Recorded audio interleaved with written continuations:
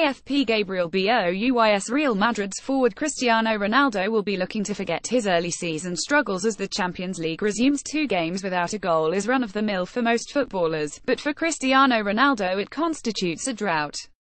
Ronaldo will be looking to forget his early season struggles as Real Madrid aim to lay down a marker in their quest for a third consecutive Champions League at Borussia Dortmund on Tuesday. The Portuguese remains the strong favourite to match Lionel Messi's record of five Ballon d'Or wins for his starring role in guiding Madrid to a first La Liga and Champions League double in 59 years. However, Messi's sensational form for Barcelona and the attention garnered by Neymar's 222 million euro $265 million world record move to Paris Saint-Germain last month has starved Ronaldo of the attention he craves. All three were named as the finalists for FIFA's Men's Player Award for 2017 last week. It is Ronaldo, though, who has so far failed to hit his stratospherically high standards this season as Real have fallen seven points behind Barca in the La Liga title race. A five-game suspension for pushing a referee after being sent off in the first leg of the Spanish Super Cup has been the principal cause. Ronaldo described the ban as persecution on the part of the Spanish Federation. But the punishment didn't end with a ban as a rusty Ronaldo misfired badly as Real's run of scoring in 73 straight games was ended in a shock 10 defeat to Real Betis last midweek. Ronaldo also fired a blank as Madrid edged past bottom of the table Alaves on Saturday despite having 18 shots across his last two games. Cristiano is like he always is. When he doesn't score you ask me about him, but he is calm, insisted Real boss Zinedine Zidane.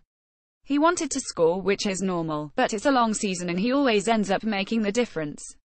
Messi irreplaceable It would take something extraordinary to deny Ronaldo the Ballon d'Or after scoring 10 times from the Champions League quarter-finals on against a caliber of opposition such as Bayern Munich, Atletico Madrid and Juventus.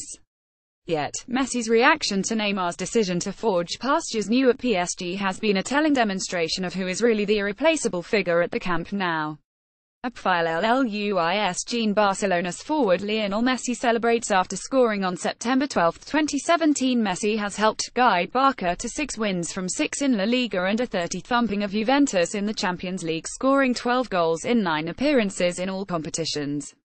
Indeed, at club level Messi now has 43 goals in 2017 to Ronaldo's 29. Neymar's numbers are far more modest despite five goals in six games for PSG as he has adapted well to his new surroundings and new stature as the world's most expensive player.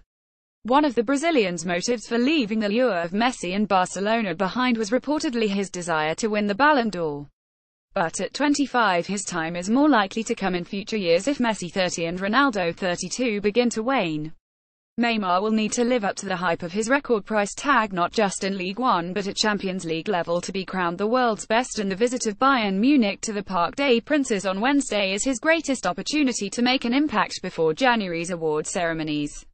Yet, despite the individual nature of the award, it is trophies that tend to tilt the balance of the Ballon d'Or and, having beaten his competitors to La Liga and the Champions League, Ronaldo remains the man to beat.